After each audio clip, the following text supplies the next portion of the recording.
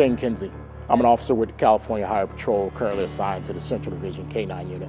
I've been an officer for 22 years, and I've been a K-9 officer since 2014. It's been the best six years of my 22-year career. As a K-9 officer, we assist other CHP officers, other agencies with um, high priority calls that may require a dog for apprehension or drug detection. We're not assigned a specific beat. We have the freedom of roaming basically all over our division. I get to ride around with a K-9 partner all day. We're like best friends. I actually spend more time with him than I do my wife. Beny is a six-year-old shepherd. Beny is really high speed, low drag. He is high energy.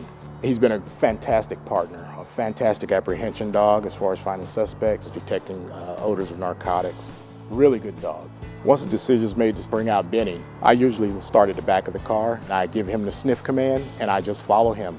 At that point, he's the boss. I follow him wherever he goes and if there's an odor of narcotics, he lets me know. And he's often found narcotics that I overlooked. Sometimes he can go places where we can't. His sense of smell is, is a huge asset to us when it comes to locating suspects that are, say, hidden in bushes, hidden in buildings, hidden inside of rooms, as far as searching vehicles, uh, finding narcotics in the vehicle his nose is an invaluable tool. I mean, he's been very successful for locating uh, narcotics and, and, large amounts of U.S. currency. I believe over the last two months, Beny's assisted me in seizing a little over $2 million.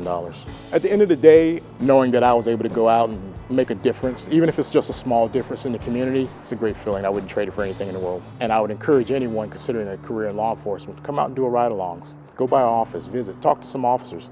We all love what we do. If you have that opportunity and you love dogs, the K9 unit is the best unit on the Highway Patrol.